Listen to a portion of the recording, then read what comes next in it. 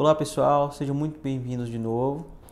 No primeiro vídeo nós discutimos conceitos relacionados ao que é a próstata, tamanho, localização, função da próstata.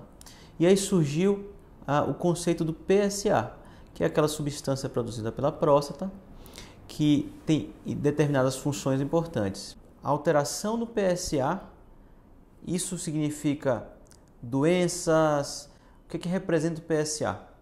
Veja, Paulo, o PSA é um exame muito bom na prática clínica do urologista. É um exame de sangue de fácil acesso, é fácil da gente conseguir coletar esse exame, ele é barato e ele consegue mostrar para a gente muitas alterações na próstata. Isso é uma vantagem, mas ao mesmo tempo pode representar um problema para os pacientes, porque às vezes ele vem já com um pré-diagnóstico que ele mesmo estabeleceu de que ele tem uma doença grave porque o PSA está elevado. Quando o paciente chega com resultado de PSA ou quando nós solicitamos esse exame ele retorna à consulta com esse resultado para que a gente avalie, nós temos que entender o contexto todo desse paciente. Nós vamos examinar esse paciente, depois de conversar com ele e entender quais são os sintomas que ele sente nós vamos fazer um exame físico, examinar essa próstata através do exame de toque retal e, se necessário, nós vamos solicitar algum exame complementar. Você comentou a respeito da, das altera alterações que acontecem na próstata, que podem alterar também o PSA. E a questão que, que se coloca é: a gente sabe que a próstata normal ela também produz PSA. Então, como o paciente, o paciente do sexo masculino vai saber o momento de procurar um urologista se ele é, não tem sintomas? Nós sabemos que alguns homens têm uma chance maior de desenvolver, por exemplo, câncer de próstata, que é o que leva a maioria dos homens ao urologista.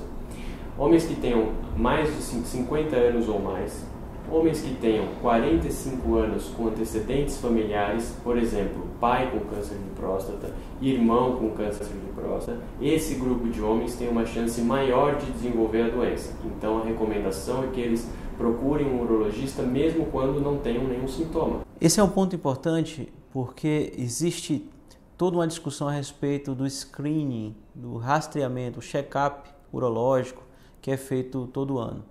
Isso é muito discutido porque no mundo todo é, existem formas diferentes de fazer. Nós adotamos uma prática no Brasil porque nossa população é uma população heterogênea e nossa recomendação é exatamente essa definição que o Dr. José Eduardo acabou de definir. Há um tempo atrás, mais ou menos uns seis anos, sete anos atrás, surgiu toda uma discussão a respeito do assunto novamente por uma publicação do, de estudos americanos. Então gerou toda uma discussão no mundo a respeito da necessidade de fazer exames para investigar câncer de próstata.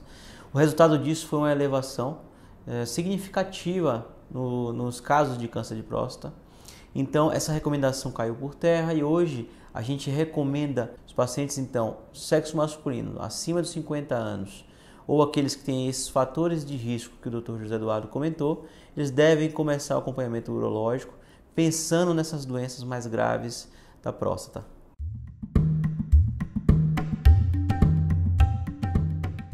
Acho muito importante a gente comentar que pacientes que não tenham nenhum sintoma devem procurar o urologista para uma avaliação. Muitas vezes os pacientes se comparam a possibilidade de um câncer de próstata a outros tipos de câncer, por exemplo, câncer de fígado, câncer de estômago, que são doenças bastante sintomáticas, e o próprio paciente conclui que por não ter nenhum sintoma, provavelmente ele não tem nenhum problema na próstata. Isso pode prejudicar o paciente, fazendo com que ele retarde a ir ao urologista e eventualmente chegue a ter um diagnóstico já de um câncer de próstata avançado, uma vez que ele não tinha nenhum sintomas e ficou aguardando o surgimento de sintomas, o que pode surgir depois de muitos anos da presença da doença.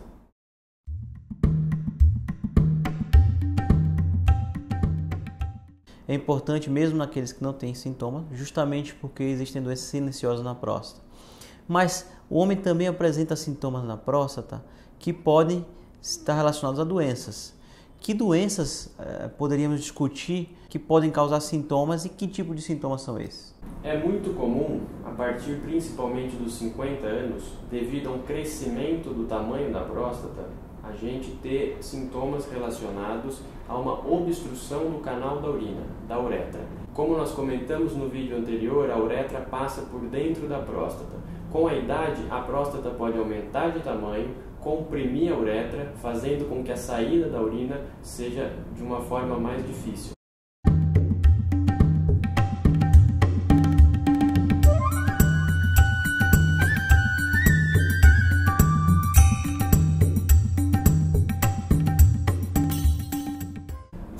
Principais sintomas associados ao crescimento da próstata, que nós chamamos genericamente de hiperplasia prostática, são um jato de urina mais fraco, o aumento do número de idas ao banheiro urinar durante o dia, aumento da frequência urinária, aumento do número de vezes que o homem começa a acordar à noite para ir ao banheiro urinar e muitas vezes uma sensação de esvaziamento vesical incompleto. O paciente volta do banheiro após ter urinado com aquela sensação de que a bexiga ainda tem está cheia de urina. Então, discutimos que os pacientes com câncer de próstata não têm sintomas e aqueles que têm podem ter, estar relacionados a outro tipo de doença da próstata que não câncer. Basicamente isso acontece por quê? Porque nós sabemos que o desenvolvimento da hiperplasia é um crescimento concêntrico de toda a glândula da próstata de forma organizada. Isso é natural do próprio homem. E o câncer é, é diferente. O câncer é um crescimento anômalo, um crescimento desordenado de uma certa parte da próstata. Costuma cometer a, a região mais periférica da próstata. Por isso que não atinge o canal, que é a parte central da próstata. No próximo vídeo, iremos falar um pouquinho do diagnóstico, como dar diagnóstico tanto da doença câncer quanto da doença benigna, a hiperplasia da próstata.